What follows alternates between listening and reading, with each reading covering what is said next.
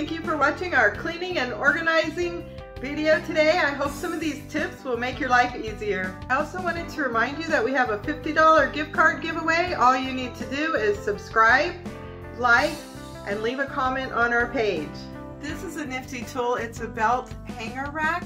I got this at the 99 cent store. You can hang your belts on it, your ties. You can also use it for jewelry if you want to um, put your jewelry or bracelets or necklaces on there so that they don't get tangled or damaged.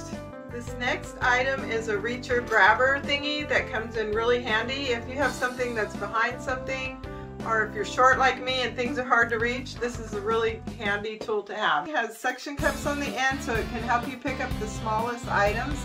And on this end, you just squeeze it like that.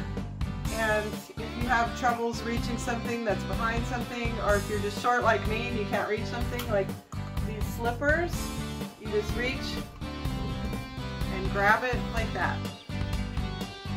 So I also put some of these command hooks. They come in really handy, like if you want to hang, hang your reacher grabber thing on, or if you want to hang another hanger where I keep my keys and stuff. And down here for dark corners, I have a, a little light that I use to um, so I can see my shoes better. You can find these stick-on lights at Target or Amazon. Do you have one of those washer and dryers that eat your socks? Your socks just disappear and you don't know where they are? Well, I've got a tip for you. You just throw your dirty socks into a laundry bag, a mesh bag, or a lingerie bag like this. Zip it up and close it, and then throw it into the washer. I really love these five layer hangers. I have three of them. I use them for my scarves, my cover-ups, and my Zumba and belly dancing skirts. And these cedar blocks, they're really great to protect your clothes from pet odors, and it's a natural pure insect repellent, and they repel must and mildew, and all of this without chemicals. I got these rectangular ones, but they come in all different shapes and sizes. You can find them on Amazon. I love this Downy Plus wrinkle releaser. I usually keep it by the door so if our clothes are wrinkled we can just give them a quick spray as we leave out the door. It's an odor eliminator, a fabric refresher, a static remover, and an ironing aid.